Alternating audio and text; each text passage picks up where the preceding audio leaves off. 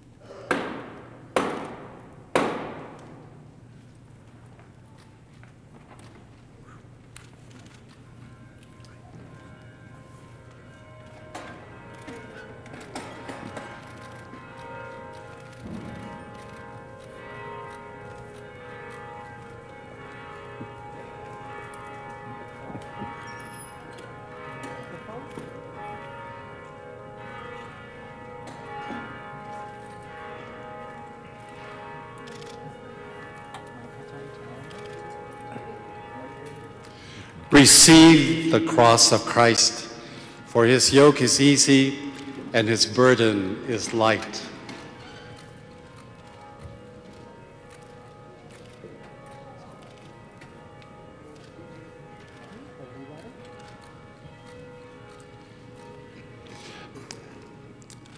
May your ministry renew within us the commitment we all made in baptism, so that all may see the works that we do and give glory to God.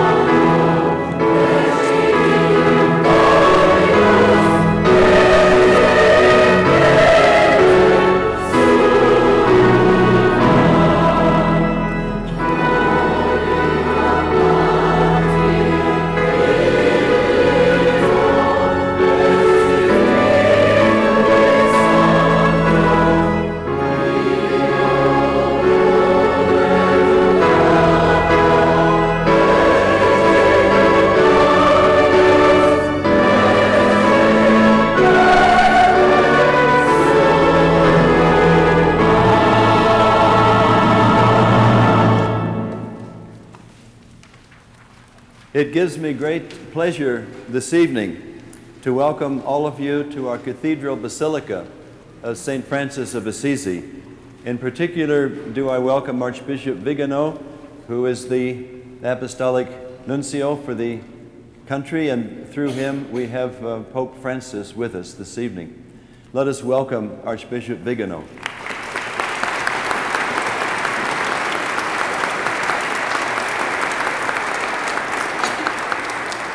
We welcome our two cardinals, my brother bishops, archbishops, and bishops who are here, our priests and deacons, religious men and religious women, and uh, the family of Archbishop elect Wester, and um, ecumenical and civic leaders who are here, and so many others who gather with us this evening.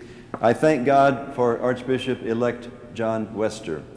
I prayed that he would be the one who would succeed me. And I kind of backed it up by calling a couple of cardinals. and so I'm grateful, very grateful that he's the one that uh, is here. So we pray for you, Archbishop Wester, uh, tonight as we celebrate our Vespers. We ask God to bless you richly with these wonderful people that uh, you will take over responsibility as their shepherd tomorrow. May God bless you richly. Yeah.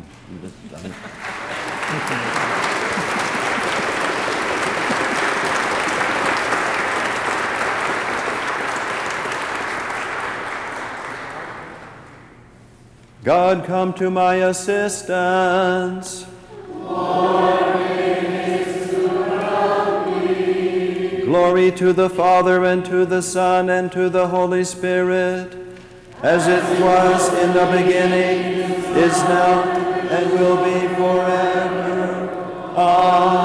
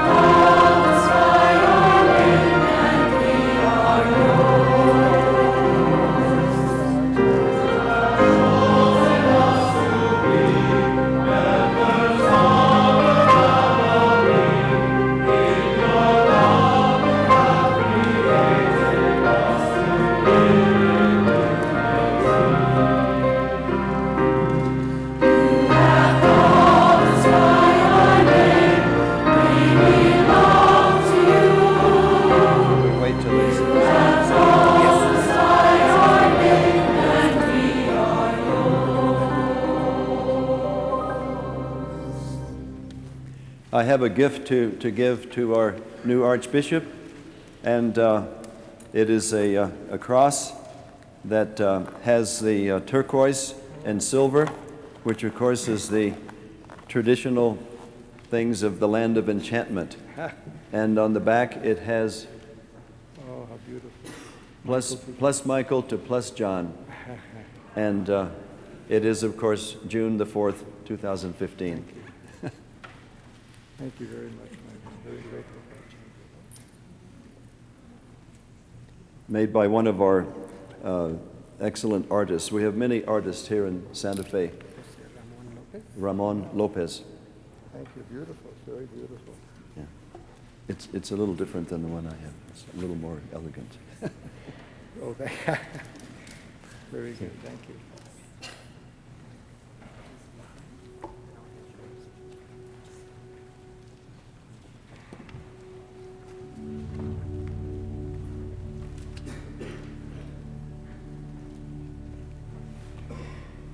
My life is at the service of the gospel. God has given me this gift of His grace. My life is at the service of the gospel. God has given me His grace.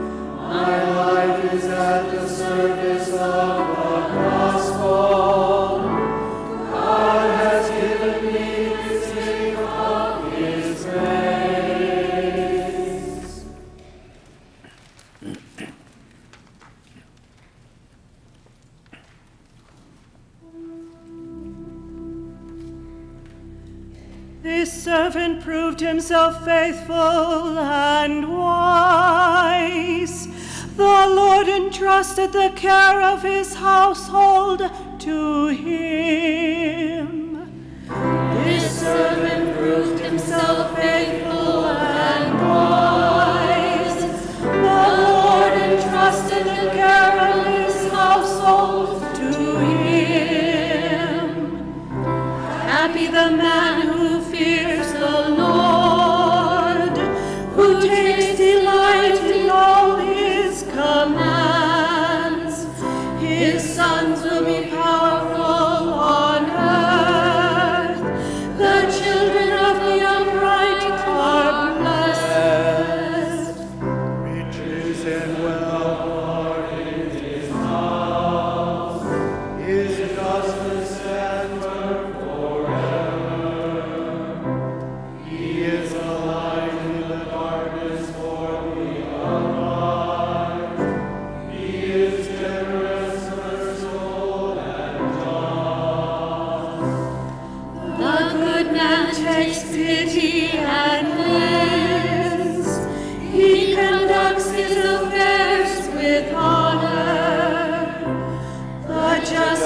will never waver.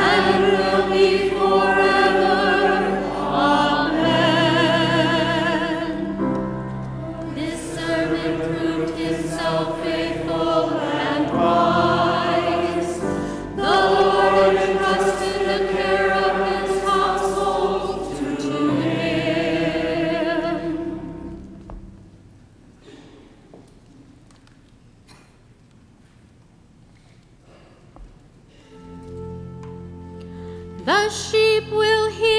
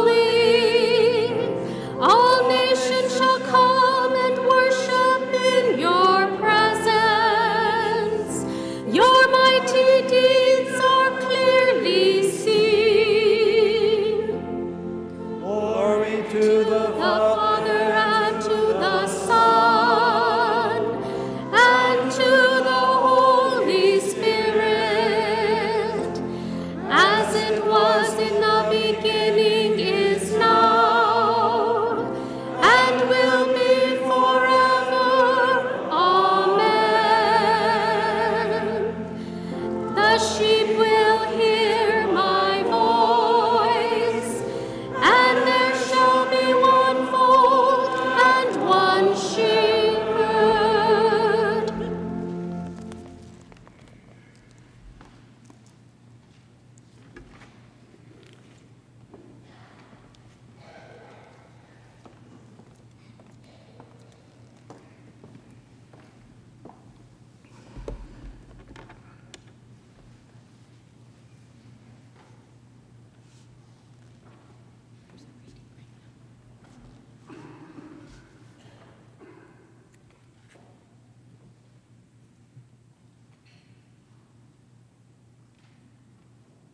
A reading from 1 Peter.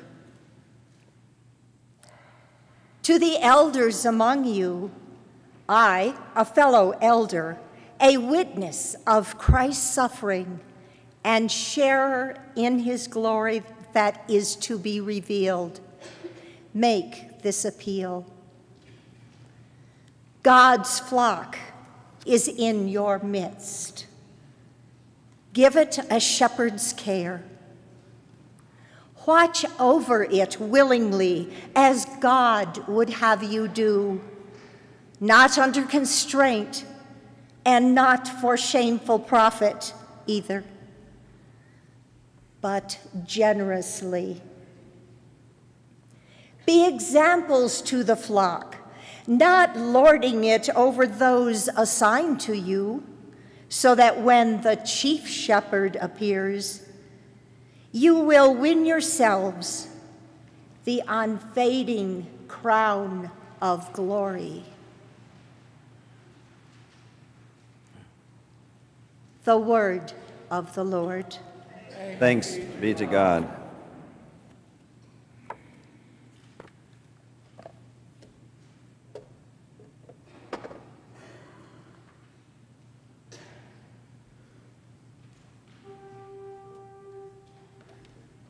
This is the man who loved his brethren and never prayed for them.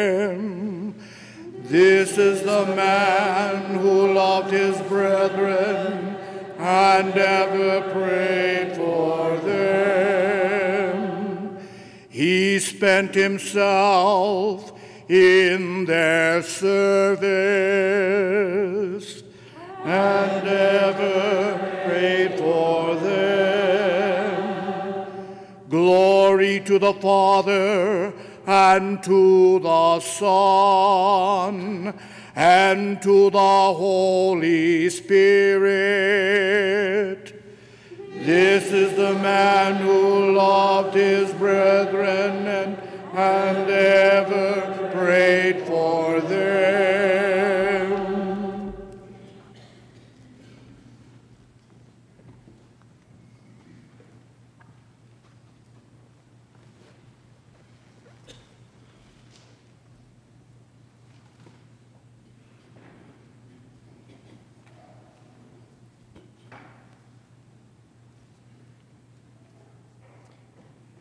Thank you very much, Archbishop Sheehan, for this very beautiful gift. I'm very touched by that and very grateful to you. When I was here last month, I take note that you gave me the book, Death Comes for the Archbishop. and now you've given me a cross to wear, so I, I'm starting to detect a pattern here. I'm most grateful to you. Thank you. And I'm certainly echoing Archbishop Sheehan's words of welcome and so grateful to Archbishop Vigano, Cardinal Levada, Cardinal Mahony, all my brother bishops who are here tonight, and uh, guests and friends, uh, my dear family, my mother, my two sisters, my brother and brother-in-law, um, so many friends from San Francisco, from Utah. I'm very, very grateful to you all. I know that it's a bit of a journey, and I truly appreciate your presence here tonight. In a very special way, I'm particularly grateful to all from the Archdiocese of Santa Fe who are here tonight and who've shown me such hospitality and warmth and a great welcome. This has been a great grace for me, and I'm grateful to you very, very much. I wanted so much to be with you tonight to pray with you on the vigil of the installation tomorrow, to have um, a, a quieter night of prayer, a little bit more on team, especially with those of you who mean so much to me now and are so important to me and to my ministry. Those of you with whom I will be sharing ministry in a particular way. I think of my brother priests of Santa Fe, my closest collaborators. I think of the religious priests and brothers and sisters, of the deacons and their wives, of the lay ecclesial ministers and leaders in our midst. And I wanted to gather with you to pray tonight and to ask you to pray for me, in particular, that the Lord will always guide me in the years ahead. To pray that I will be an elder in the light of St. Peter's words that we just heard proclaimed. I believe that the Spirit is aptly captured by the description given to the liturgical leader of the assembly, a leader who was strong, loving, and wise. And it is also captured, I believe, in the life and ministry of one recently beatified, namely Archbishop Oscar Romero. Last week, in the Cathedral of the Madeleine in Salt Lake City, many of our El Salvadoran priests organized a beautiful Mass on the occasion of the beatification of Archbishop Romero, which took place on May 23rd. The Archbishop had a profound influence on many people because many people had a profound influence on him. It is my fervent prayer to be influenced by you, the people of this local church of Santa Fe, as I strive to be a good shepherd in your midst, humbly asking for your prayers and guidance to do that. Please pray for me that I will be the leader that St. Peter speaks of, indeed, the leader that St. Peter was. And I believe that he and Oscar Romero give us an insight into this leadership in a particular episode in the Archbishop's life in El Salvador. It seems that in the midst of so much violence and difficulty, the Archbishop got word that one of his priests was killed in the streets. And furthermore, that the priest had a gun in his hand. The advisors to the Archbishop said that it would probably be better if he did not go to the funeral because it may appear that he condones violence if he did. However, Archbishop Romero eventually did go to the funeral. And he said that that priest's mother will be at the funeral. And I am his father, and I will be at the funeral. I thought about that last week as we celebrated the Archbishop's beatification, and I thought that this truly exemplifies important aspects of leadership in the church that we've just heard tonight from St. Peter. Peter calls himself a fellow elder. He puts himself in the position of one who asks. I make this appeal, he says. I don't command you, I appeal. This is the only place in the New Testament where we see these words, a fellow elder. He's very humble, as was Oscar Romero. He did not worry about his image or what others would say or think, but he sacrificed himself for the good of the priest's family, the good of his church. Please pray that together with all those in this archdiocese with whom I share ministry and leadership, that I will too be humble, relying only on the Lord for strength and seeking only His honor and glory and the good of this local church. Again, we see that St. Peter exhorts the elders to be generous. This means not only not seeking repayment for their service, but generous to the point that they suffer for the ministry and the people served. Peter speaks of himself as a witness of the sufferings of Christ. Oscar Romero suffered for his priest that was killed. He suffered certain pushback, criticism, and eventually suffered the loss of his own life so that he could support his flock. And so please pray that with you, I will be generous on all levels, and that I will give fully and completely of myself for you, my fellow elders, as we seek to serve God's people with a shepherd's care, not counting the cost. And the verbs used in tonight's readings, I don't speak Greek, but I'm told that they're in the aorist tense. It's a mood that connotes urgency, concreteness, reality. Guard the sheep, guide the sheep, feed the sheep, enfold the sheep. Peter wants them to do it now with a sense of importance, priority, and proximity. Oscar Romero exemplified the same sense of urgency. He knew that he was targeted for assassination. He would not have a driver or a bodyguard because he did not want their lives to be in danger. He knew the score. He ministered with urgency, knowing that his time was limited. And so I pray that I will have the same urgency in your midst as together we serve God's people, my dear sisters and brothers, priests and deacons, lay leaders. I pray that this ministry entrusted to me will be my priority and that nothing else will distract me or in any way attenuate this first priority to be a shepherd in your midst. And finally, there is a true joy in Peter's plea and humble request. Willingly watch over the flock, Peter says. This implies joy, doing it gladly, not because I have to, but because I want to. Oscar Romero exhibited this same joy. He was always smiling in the photos that I've seen of him, even though he knew his risks. He was close to the Lord. In a very early memo or journal to himself, he wrote, In recent days, the Lord has inspired in me a great desire for holiness. I have been thinking of how far a soul can ascend if it lets itself be possessed entirely by God. Archbishop Romero knew the joy that came from closeness to God and the service of his people. And so please pray for me that with you I too will be joyful in my ministry, knowing that Christ is the source and summit of all that we do, and that this closeness will bring true joy in all aspects of our ministry together.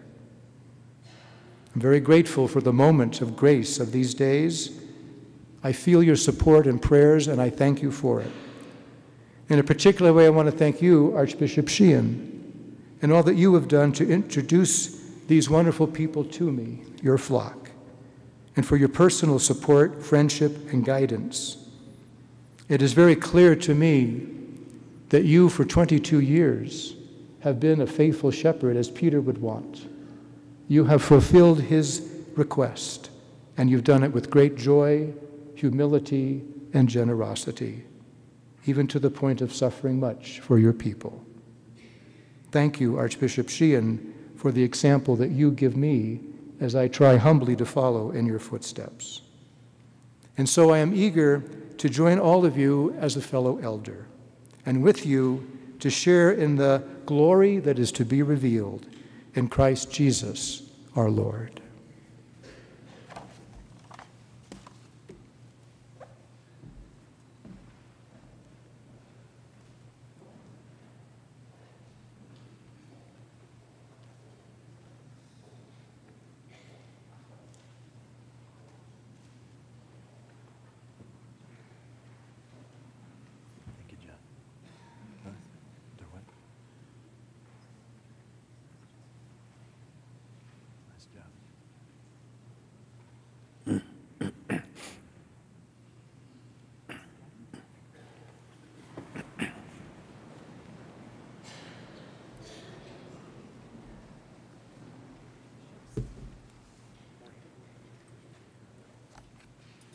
Priest of the Most High God and mirror of goodness, you were a good shepherd to your people and pleasing to the Lord. Priest of the Most High God and mirror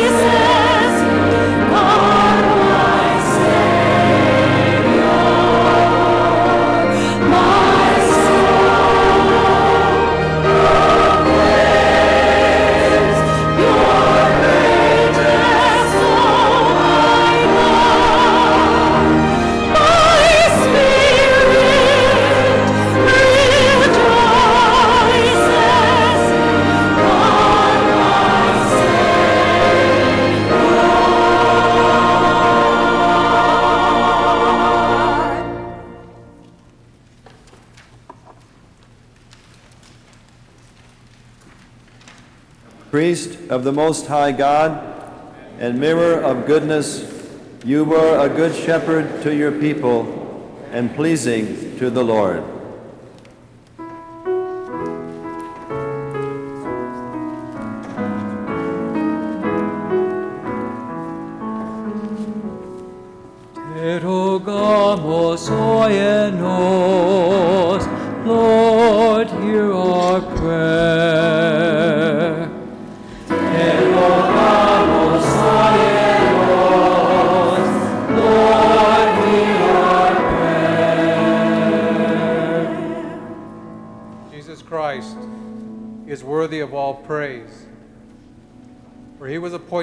Priest among men and women and the representatives before God. We honor him, and in our frailty, we pray.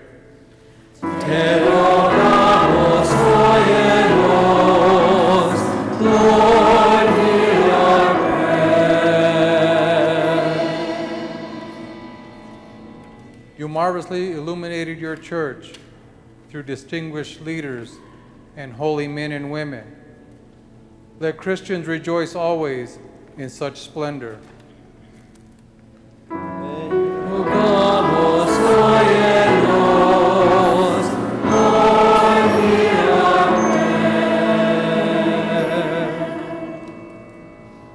You forgave the sins of your people when their holy leaders, like Moses, sought your compassion. Through their intercession, continue to purify and sanctify your holy people.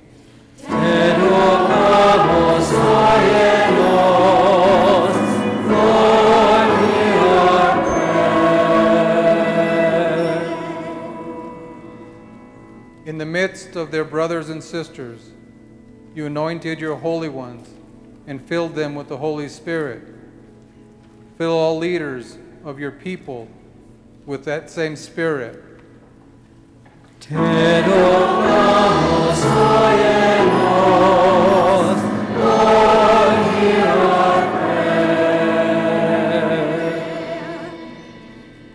yourself are the only visible possession of our holy pastors. Let none of them, won at the price of your blood, remain far from you.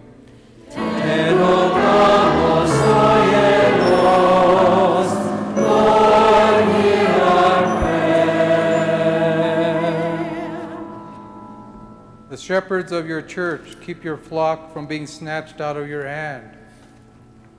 Through them, you give your flock eternal life. Save those who have died, those for whom you gave your life.